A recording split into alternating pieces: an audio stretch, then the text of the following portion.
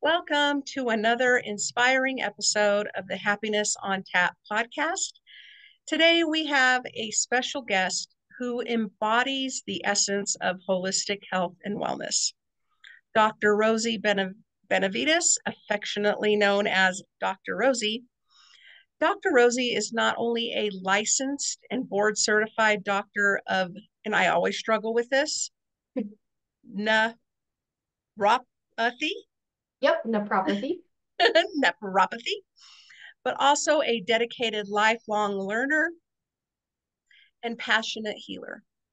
Join us as we dive into her incredible journey through the world of chronic pain management, pediatric care, and much more. Get ready to be empowered and rejuvenated as Dr. Rozee shares her wisdom and experience on how to achieve true wellness and take an active role in your recovery. Hello, and welcome back to the Happiness on Tap podcast, where guests dive deep into the vulnerable experiences that contribute to their happiness. I'm Leann Herron, a certified health and life coach, owner of Finding Resilience with Leann, and the creator and host of this podcast. Thank you for joining us for Holistic Healing a Journey to Wellness with Dr. Rozee Benavides. Hello, Dr. Rozee. Thank you for joining me. How are you today? Hi, Leann. Thank you so much for having me. I'm doing great. How are you? I am wonderful. I'm so excited for this conversation. So, thank you again for agreeing to be on my show. Yeah, absolutely. Thank you for having me. Great. Dr. Rozee Benavides, again, affectionately known as Dr. Rozee, I think that is great, is a licensed and board certified doctor of naprapathy. Yep. Yep. that's a tongue tire for me. She holds multiple degrees from CNM, UNM, 200 hours certified yoga instructor, and her earned her doctorate from the Southwest University of Naprapathic. Naprapathic. Thank you. I should have you say the big words medicine in Santa Fe. Dr. Rozee has experience in chronic pain and spine pathologies, pediatric care, geriatric care, and maternity care.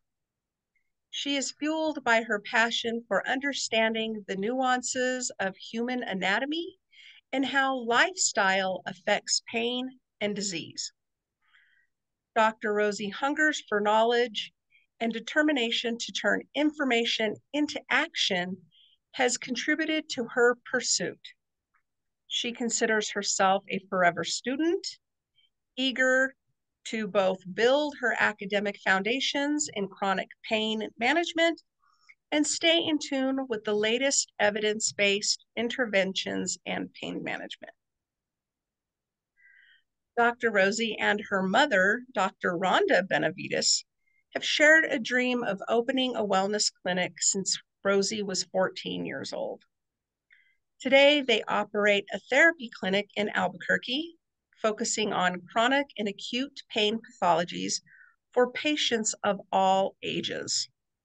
Their clinic, The Backbone, combines hand on connective tissue manipulation therapy with therapeutic exercises and nutritional counseling to decrease pain and disability in the neuromusculoskeletal system.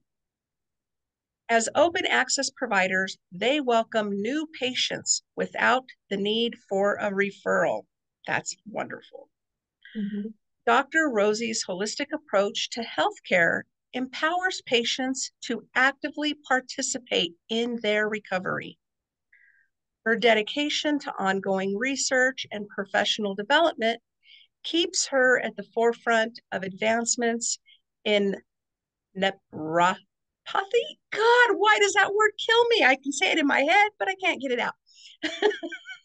Ensuring that her patients receive the highest standard of care. So, Dr. Rozee, can you tell us just a little bit about what you do? Hi. Okay. Okay. Yeah, so a little bit about what I do. Um, I feel like I do a little bit of everything uh, right now in my role, um, but primarily I treat pain.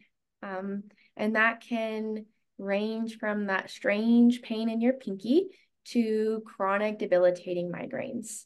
Um, so my mom and I co-own the backbone. Um, and we have a little bit of a division between our patients. So I primarily see children, uh, pregnant women, athletes, and Dr. Rhonda primarily focuses on geriatrics. Wonderful.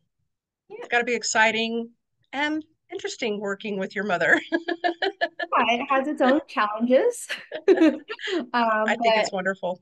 Yeah, it's it's been a really I can't imagine doing this with anybody else. That's wonderful. I love that part of it. Yeah. Okay. So, Happiness on Tap's mission is to provide value to our listeners by providing tips and tools to help people realize they are not alone while providing education and information to help them improve their daily life and health, cope better with life's challenges, reduce stress, and become the best, most authentic version of themselves. So let's get started. Dr. Rozee, can you start by telling us a little about your background and what led you to pursue a career in this field? Yeah, so growing up, um, I've always been fascinated with the human body.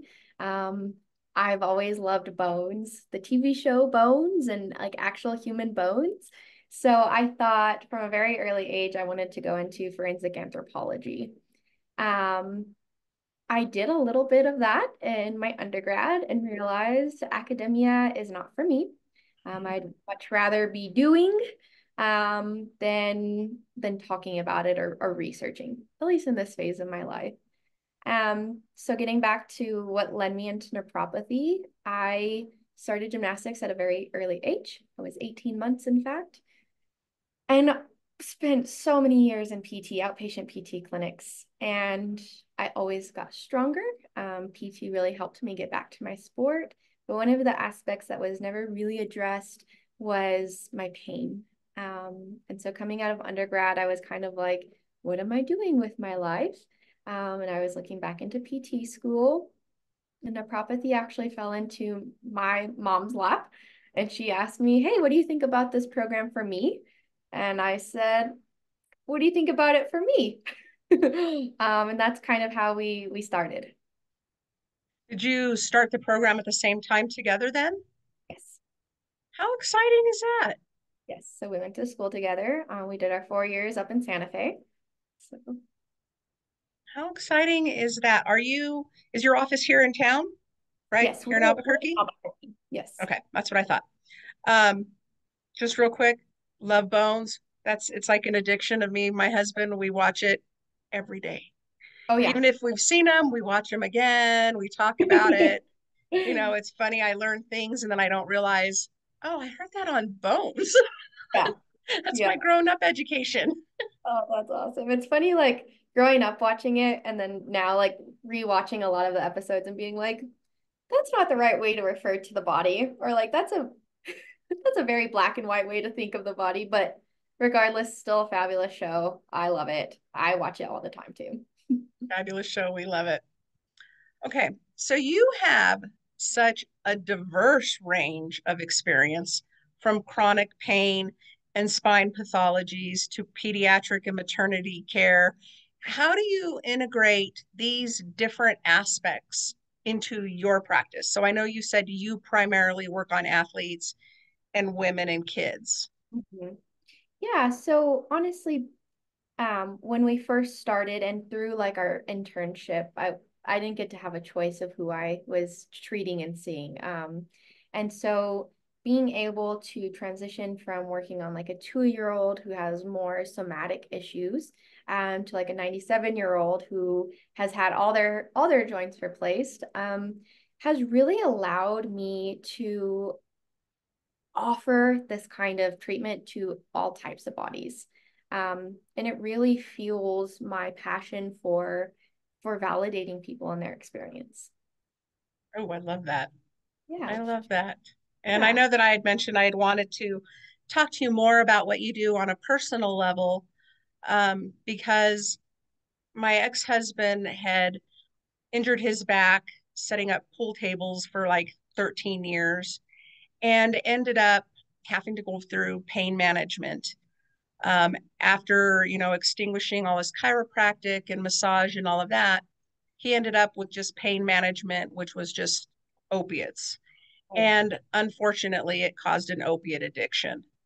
Um, but it's you know from what i'm understanding about what you do i think if he had had if we had had the knowledge for other options for alternative care or other types of practitioners um, that would do more of a, a whole body approach as well as taking that time like you said to validate people's experience i think he may have had a different outcome but yeah we hit wall after wall after wall with pain management. You know, it got so bad that like I wasn't allowed to attend his appointments with him because my focus was, you know, help him so he can get off these meds so he can return to some kind of normal life.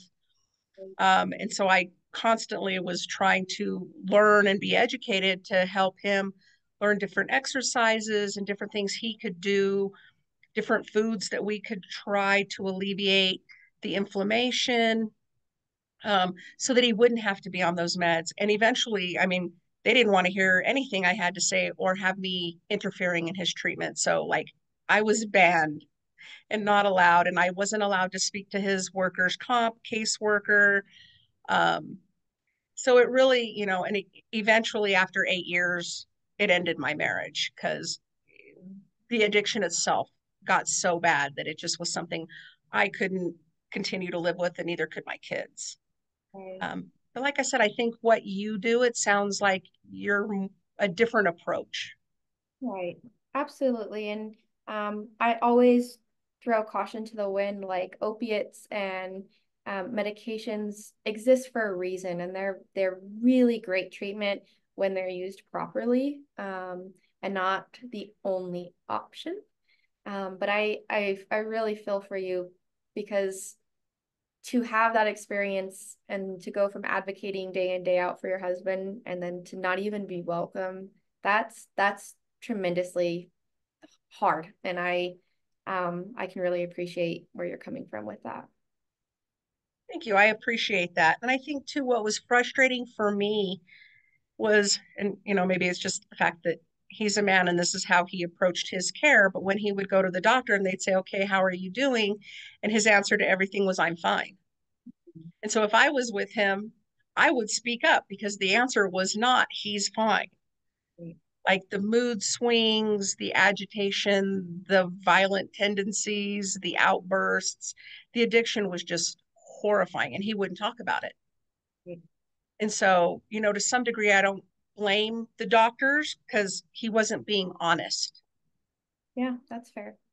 So um, to have somebody try to be there and say, no, this is really what's going on, I think again could have helped, but yeah. Um, I generally spend about an hour to an hour 15 minutes with my patients when they first start coming in. Um, and I've really, I've really honed in on my detective skills. Um, and so when I when I really get that strong sense that somebody isn't being honest with me, I try to come from a place of like, hey, I can tell you're not feeling good. Um, like what's going I really try to like I tell people all the time I feel like I'm playing clue like who done it and where. Mm-hmm. Um, and and for men particularly those first few visits are very i can tell are very uncomfortable for them. They don't like to tell me everything which is fine. I totally get that. Um, but after a while it's like oh my gosh i've i'm telling you things i've never told another human being. I'm like okay. Um, but i yeah it's hard and it's hard with our medical system we don't have enough time with patients yeah absolutely that's uh, you know a reason why I'm trying to put all this together to help people find alternatives. So I look forward to having you on the next panel here as soon as possible. Yeah. Can you explain what is the difference between what it is you do and other forms of alternative medicine like chiropractic or physical therapy? Because you did have that physical therapy background as well. So sometimes I even get confused with what it is I do and how and really how is it different um truthfully i think the the biggest difference between a naprapath a chiropractor a pt or an osteopath is how we philosophically view the body um so for us we want to heal head to toe um, we want the engine running well right so we want our nutrition and and our sleep and our stress very well managed um and sometimes I think the word holistic is a little overdone, um, but we really try to be holistic um, in our treatment. So we do focus on manual therapy and adjustments like a chiropractor or a massage therapist may. We focus on a lot of the corrective exercise and um, home exercise programs that a PT does. Mm-hmm. And on top of that, though, we really try to hone in into what's causing dysfunction. Um, and that takes time, and that's why our visits are longer. I love it. I love it. I love it. I love it. And it is so important to see people as a whole body mind, body, spirit, and get to that the core of where these issues are coming from because they all relate. You know, if, if you're not sleeping well, maybe it's some of it's the mattress and, you know, changing to a new mattress may help alleviate some of your pain. Um, if you're not getting the right nutrition or uh, enough hydration or any other forms of exercise, it, it, you're missing all the pieces to make a person whole. So I really appreciate that what you do is trying to make that person whole and hear all those things. Right. Right. Yeah. And I, you know, growing up in the realm of of PT, it was always very frustrating of like, well, we only have the referral for your ankle, right? And so for us, we've even gone, like I said, like you are so much more than a region of your body. And your pain and your experience is so much more than a region of your body. I love it. I love it. I'm I'm really looking forward to getting to know you better and more about you and more about your business. Thank you. Your approach to healthcare really emphasizes this empowering patients to take an active role in their recovery. Can you share some strategies or practices that you do that to encourage patients to adopt these strategies? Yeah, so one of the biggest things that I try to focus on is shame reduction, guilt reduction. And that may sound a little funny coming from somebody in my field. Um, but the way that we perceive either our injury or how we're taking care of ourselves is usually lesser. Like I I hear all the time like, "Oh, I didn't do my exercises. I'm so sorry." Or my stupid body just is always hurting and Ooh, that's a lot, right? And that's a lot of barriers to healing and to recovery. So I like to really focus on giving my patients homework that is one to two, three, one to two things that they can integrate that week. Um, and a lot of times I'll say, like, my biggest ask is that you start talking to yourself a little bit nicely on the inside. Um, and that, and from patient to patient, from body to body, that looks different. But I think focusing on more of, um, again, a holistic strategy to accomplishing uh, dysfunction reduction, injury prevention, um, has been really successful for me. I believe it. I believe it because that is something, you know, as a life and health coach, that's one of our primary focuses is, you know, um, the mindset shifts and practicing mindfulness and practicing affirmations because you really have to shift that mindset to really be able to open the doors to do the work to achieve the goals for what they want to achieve. Because if they're still living in this either lack um, or a negative mindset, it's going to be a lot more difficult to help them achieve their goals until they can kind of, like you said, talk to themselves nicer um, and give themselves grace. I think that's one of you know the things that I always tell people, whether it's uh, grief or trauma or even career issues. What is just give yourself grace. Don't be another person that's beating yourself up. Right. Totally. So I love it. I love that you that you do that. I think it's very beneficial and very helpful for people going forward with their care. Thank you. And I always remind my patients like I've been a patient. I know what it's like to be on the other side. I know how hard it is to do all the exercises. And I really understand that negative mindset. And I really try to, you won't get any judgment from me. You won't get any judgment if you didn't do your exercises, if you didn't listen to a single thing I said. Um, but but know that that that part of ourself is stopping you from getting better. Absolutely. Absolutely. you describe yourself as a forever student. I am as well. I feel like I'm a lifetime learner. Um, how do you stay updated with the latest advancements in pain management? So, um, I subscribe to a lot of journals. Um, I subscribe to PT, osteopathic, chiropractic, across the board, immunology. Um, I do a lot of continuing education, even if it doesn't count for my for my license. Um, I probably do something every day. Um, and also like social media is a really great way to stay up to date. Um, there's a ton of pages and people that I follow on Instagram and TikTok. And I really like to see what people in other countries are doing. I, of course, do my own research, make sure everything is um, evidence based and fact checked. But I, I love living in this day and age of just constant information, constant building. Yeah, I agree. Technology is right at our fingertips and right in our ears, and we can have it on the go. Um, and it is so valuable. I'm like you. I I learn something new every day. Um, but that's kind of part of my routine, my morning routine, my daily routine. Um, I like to start my day off, um, you know, practicing gratitude before I even get out of bed in the morning. I put on my workout clothes.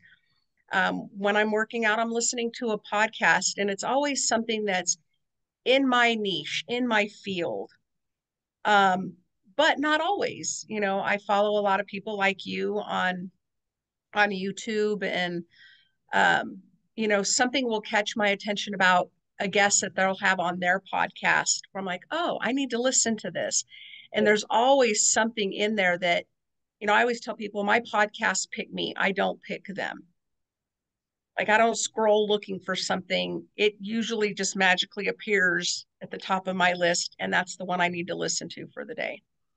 Um, and I take that information as part of my learning every day. But like you said, I also go back and do my research, um, and you know make sure things are fact based. I listen to a lot of Mel Robbins. Um, and you know just other other people kind of in this niche area of coaching and so I'm like you.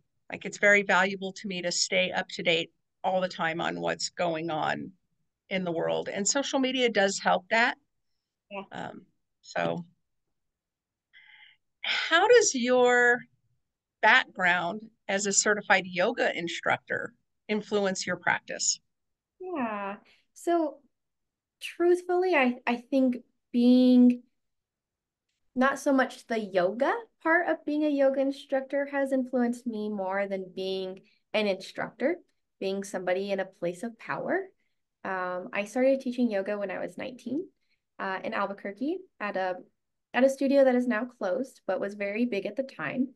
And I was so not ready for some of those very raw experiences from a an older gentleman confiding in me that he was very suicidal and having a hard time to like an elderly lady farting in class.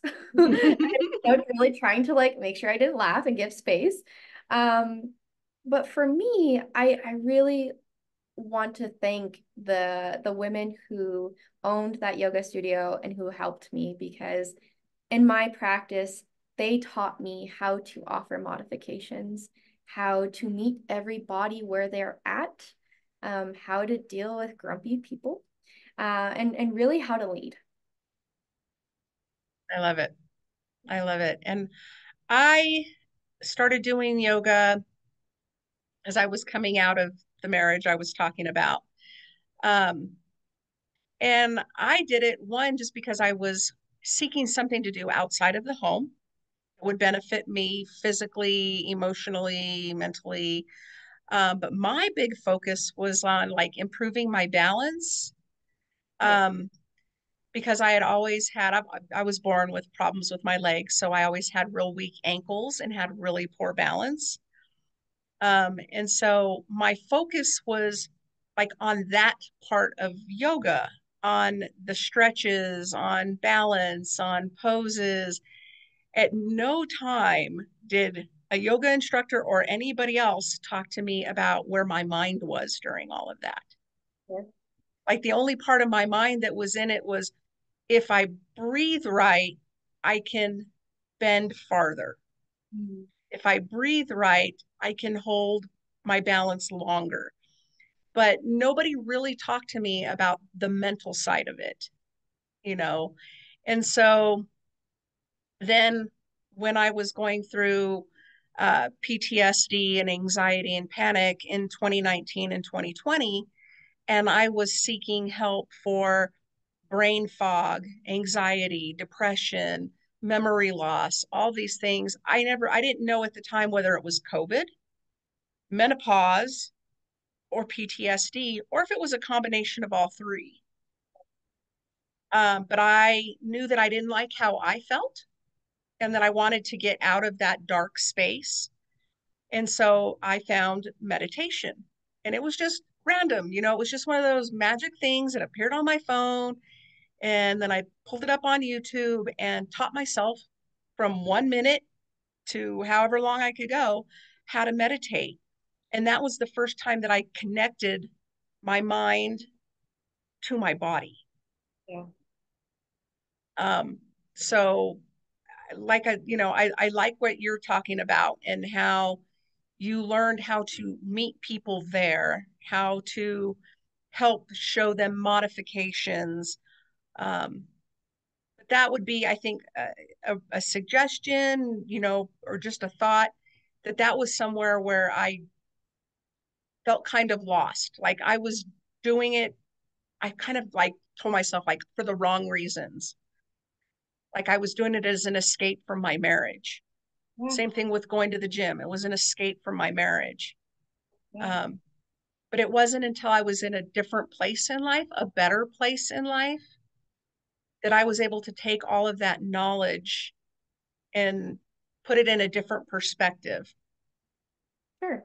Yeah. I um you know, I have always been very introspective of myself. I was a gymnast and I needed that mind body connection. And I think I found yoga for very um, non yoga reasons as well. I was, you know, I thought that I would just look better and I would be so put together and very quickly realize like no this is at, you actually get to see the other side of yourself in silence and in and doing so i uh, I rebelled against uh, yoga when I first started teaching. I like started teaching and then I took a pretty good hiatus because I was so uncomfortable in myself. Um, and then when I was able to kindly finally come back to it, oh man, I just so many different things like the universe opened up for me at that point. So, yeah, I, I agree with that story. I think things come at a time when they're meant to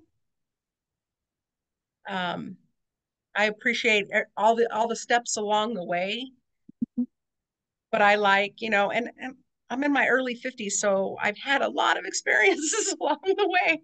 Um, but to now being able to look at them all from a completely different whole body experience on how I can also share that information and the things that I have learned with my clients.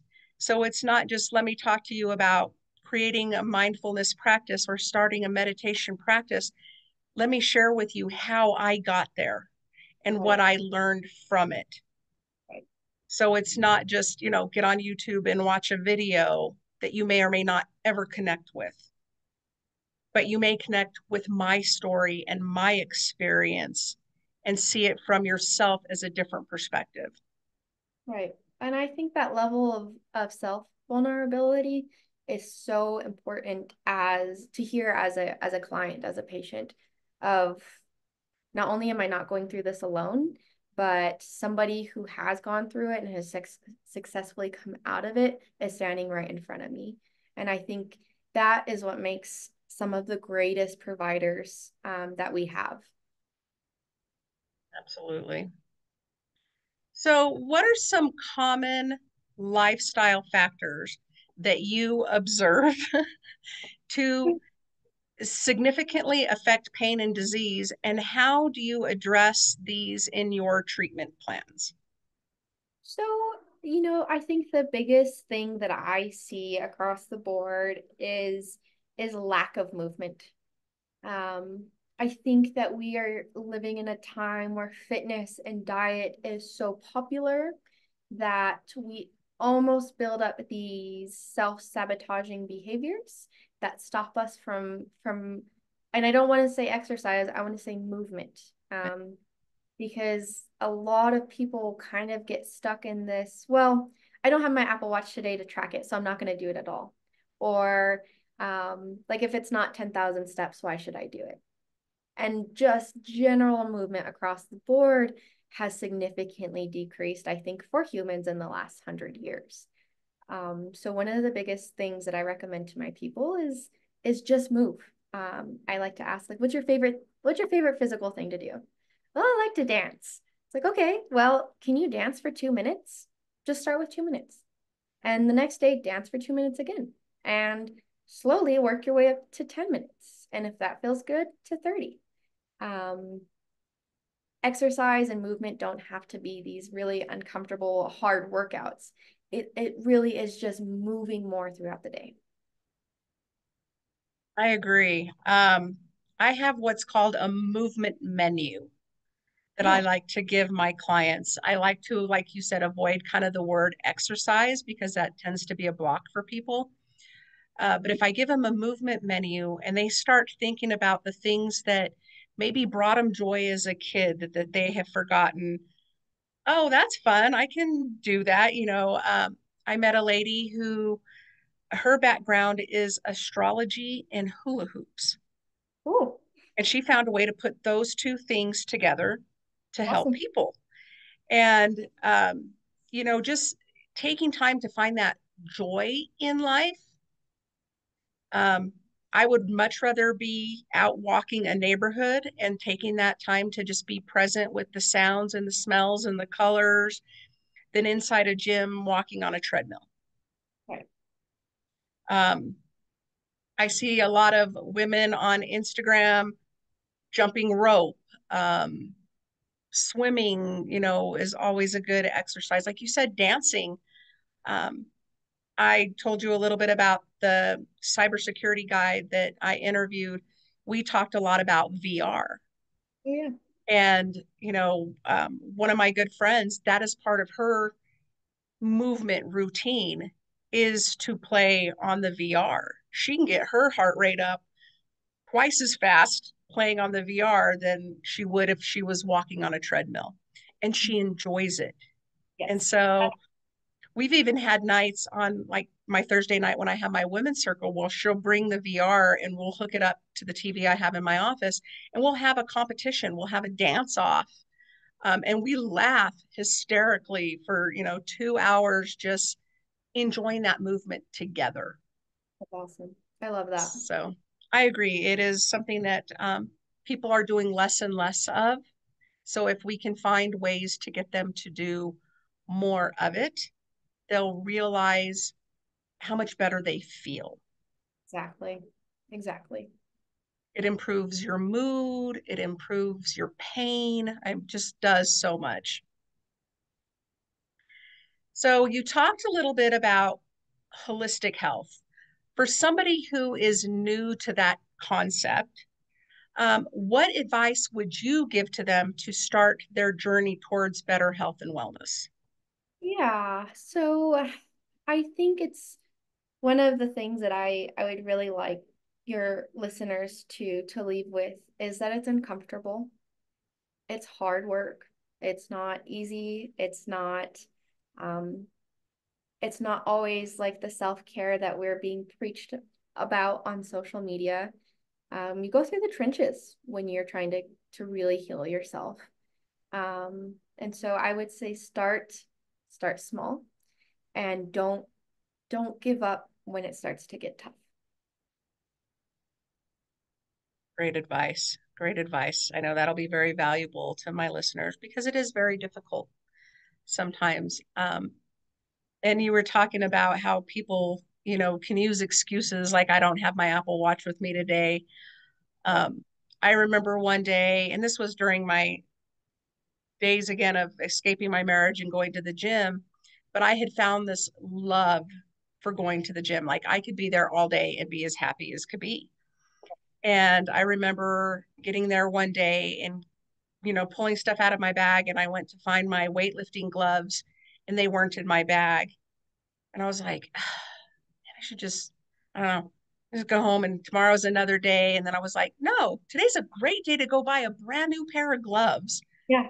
Drove from Belen to Los Lunas, bought a brand new pair of gloves, and went right back to the gym and then got to enjoy my brand new pair of gloves. Um, when I think when you find the love for something that it brings you joy to do, that it's completely different. You know, it's not demotivating, you're not frustrated.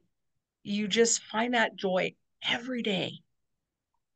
And it yeah. gives you a reason to keep coming back. Absolutely. And I used to have people that would come up to me in the gym and they're like, You're here every day and you're smiling and you're laughing and you look great and you're doing all these things. How?